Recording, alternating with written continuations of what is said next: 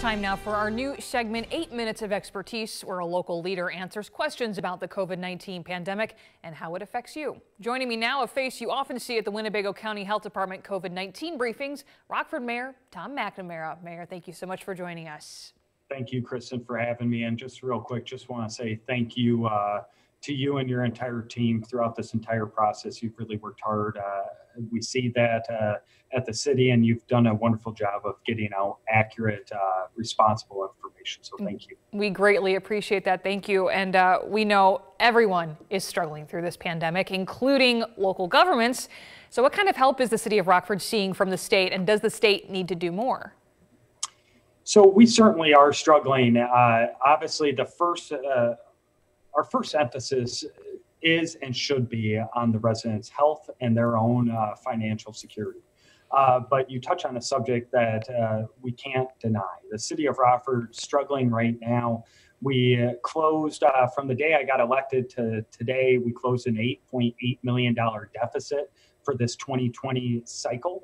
Uh, and we closed that with a balanced budget, and we even put a little bit of money away for a rainy day.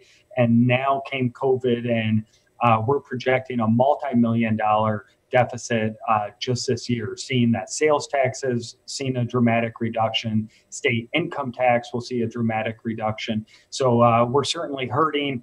Uh, we are advocating. I brought all the mayors together of Winnebago County and sent some letters uh, to the state and to the uh, our state uh, governor as well as to the federal delegation, asking them for relief for municipalities. The thing that was uh, a little bit uh, disheartening for me was to see uh, the stimulus package number three, which uh, uh, did not provide direct funding to municipalities that have under 500,000 in population. So we've been advocating with the help of the Illinois Municipal League to get more dollars into the hands of municipalities like ours.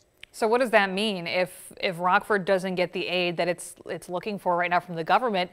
What does that mean for the city and its residents? So uh, this is a seven million dollars uh, three months four months into the year uh, is a significant hit. We've never done that because we by law have to balance, pass a balanced budget. We're not the state that can wait multiple years. We're not the federal government that can print new money.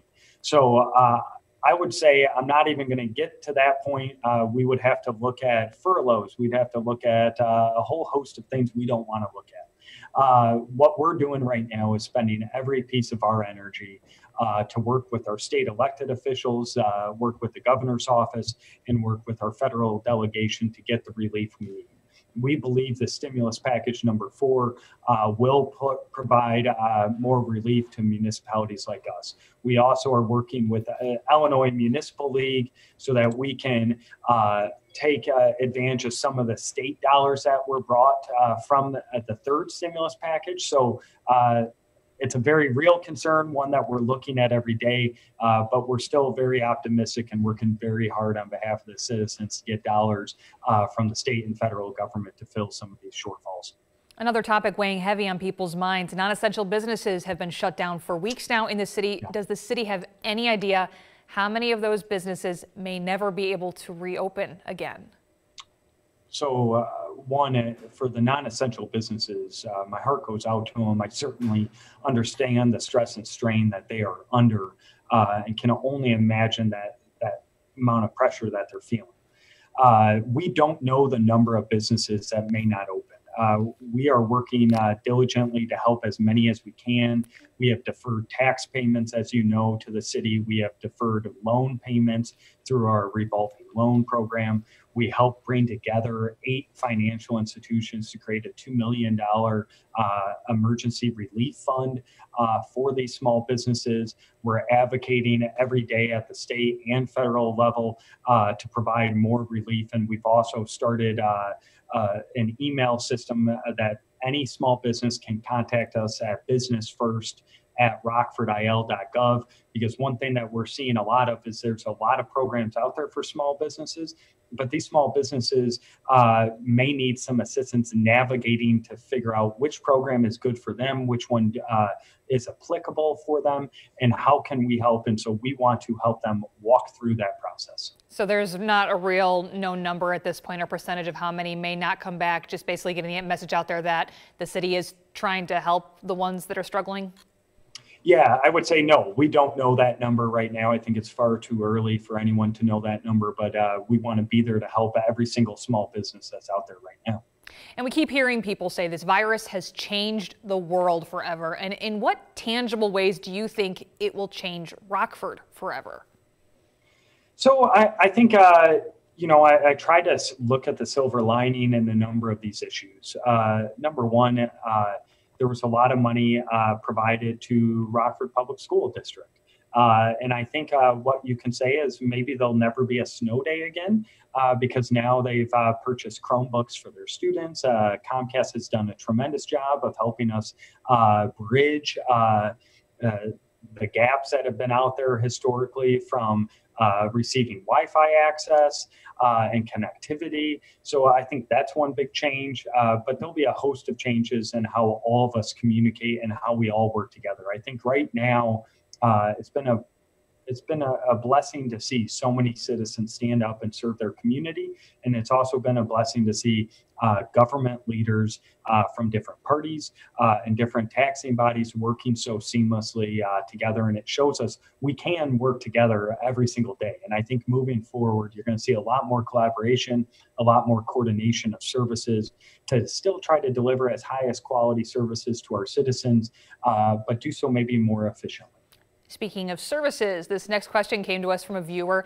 Are road construction crews essential workers? And if so, it seems like, hey, now's the perfect time to repair some road problems in the city. So is that possible?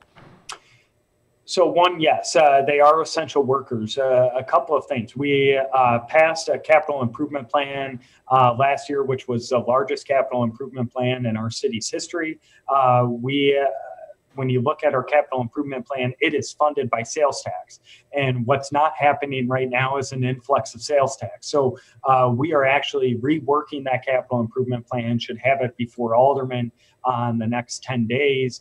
And I will say we just approved a package of uh, road projects just uh, last night at City Council. So, yes, we want to get those roads fixed. We'll have our, our, projects out hitting the streets, and we'll still have one of the largest uh, capital improvement plans uh, moving forward.